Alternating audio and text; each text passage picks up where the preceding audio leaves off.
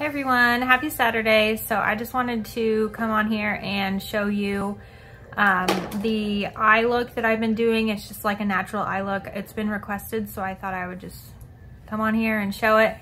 Um, so my face today, I did use the CC cream in light and then I used this pressed powder. It's uh, the Cool Light 01 and Mila broke it, so I had to use tape to keep it shut. And then for like the blush and highlight and everything, which is really nice, like if you can see that, it's so pretty. Um, I just use this Peach Bite palettes, my like OG go-to palette. I like it a lot. This is what I'm gonna be using for my eye. Um, and then in addition to the Mono eyeshadow. This is Warm Taupe. I think it's 05 Warm Taupe. And you may hear Mila, she's sitting next to me in her high chair. So um, let's get going. So yeah, if you want to see how I do just like the base, uh, I can always do a video, just uh, leave that in the comment if you'd like to see it. It's pretty simple, straightforward, but you never know if you wanna see it or not. So um, I might just do it anyway, just for fun. So what we're gonna do is, I'm gonna start out by using this like bronzer shade and I'm gonna use this little, it's like a crease brush. So I'll just get a little bit of that and then you always wanna tap off the excess just so you don't get a lot of fallout. And I'm gonna be referring to this mirror. I'm just gonna be using, uh, or I'm just gonna be doing one eye because this can kind of be lengthy. So what I like to do is just pop it on the outside and then I have hooded eyes, so I like to go above my crease. That way it kind of pushes everything back and gives the illusion that I have more of a crease than I actually do. So you just want to put it in and then you can do like windshield wipers. And I bring this, I have a lot of real estate, so I have a lot to work with up in here. So um, I just like bring it up. And the key to this is just making sure it's blended well. This is a, like, you know, just a simple look, everyday look. I think it would complement everybody's complexion and um, it's just nice. So while I'm doing this, you know, you just do like little circular motions and I do that up in here and then you can always bring it back and forth. But you just wanna make it look soft. Yeah. And I'm not going in the, in the center of the lid. I am avoiding that because I'll show you what I'm gonna be doing there.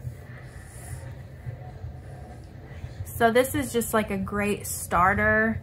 If you wanna try Farmasi, but you don't know where to start, this one is a good palette to buy. Um, okay, so I need to blend a little bit, but I wanted to show you, I'm gonna pop a little bit like in the inner corner, just a little bit, just a hair, just to kind of give it some dimension.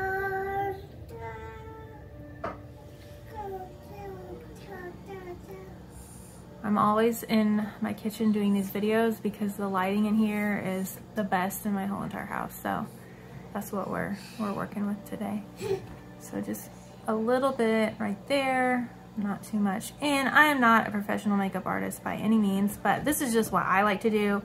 Um, I've been doing a lot of experimenting with makeup since starting this business. So um, I just kind of play around and see what works and what doesn't work and kind of just go from there. So as you can see, like the center, there is a little bit, but there's not a whole, whole lot. Um, but I just kind of run it up and you can deepen it more if you want.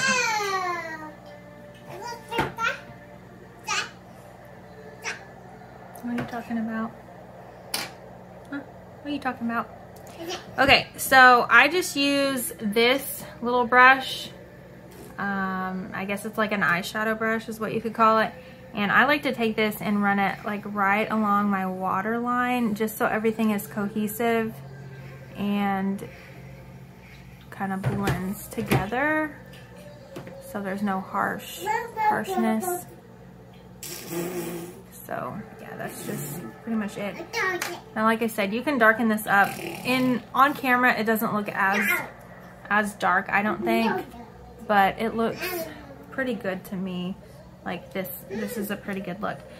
Okay, so next what I like to do is use, use the warm taupe and uh, the same little crease brush and just get a little bit on there and then I will do the outer corner only just to kind of deepen that. And I guess you can run it up. I actually I do run it up a little bit.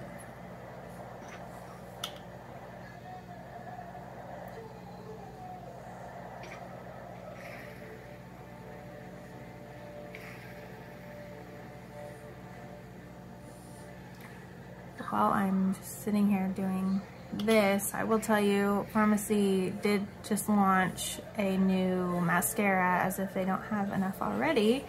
But uh, this one is pretty unique because it has Capixyl in it, which I think I have posted a couple of times about the Garlic Capixyl shampoo. They have a whole line and it's for hair growth. We have a lash and eyebrow serum that is pretty popular and the Capixyl is in that as well. So this mascara is not only gonna lengthen, lift, and uh, separate your lashes, but it also has that Capixyl.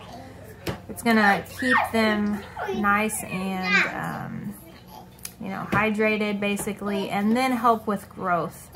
So that one's new. I believe it's called Limitless, and it is $24.90. So if you would like to purchase it, let me know or just I'll link as always my website and you can check it out for yourself. But that is one of the new products. Um, I am planning on getting eyeshadow palettes uh, the, the, new ones that launched last month. I just haven't got around. I they they were out of stock, so they just restocked. One second, baby. All right, I'm back. I had to pause the video. Okay, so I think that looks pretty good.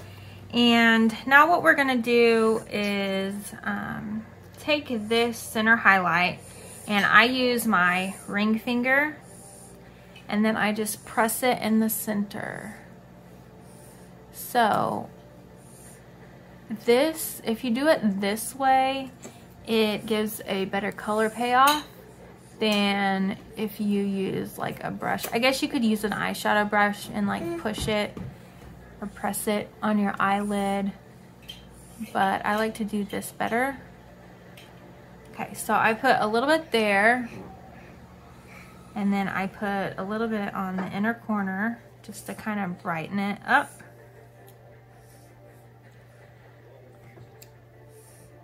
And this, um, the highlight is like a champagne color. It's super pretty. So that is pretty much all I do. Pretty easy. You know, the key to all this is just basically blending. You want to make sure there's no like super harsh lines. Everything is cohesive. Actually, I do one more thing I forgot about. I, I take one of these brushes. It's just a little, I don't even know what you would call this brush. And I just get a little bit of that highlight on and then I go right above this. Um, just to define the, or highlight the brow bone.